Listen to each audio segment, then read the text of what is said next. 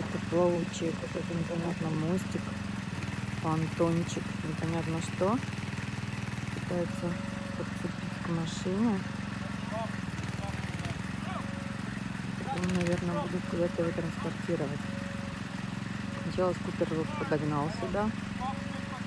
Теперь они подсоединяют к машине.